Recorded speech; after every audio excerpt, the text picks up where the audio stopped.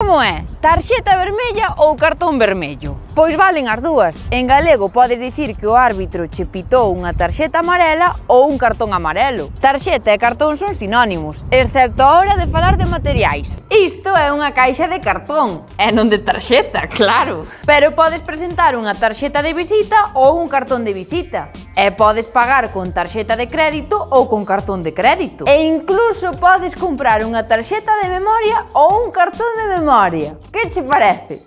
Digo cho eu.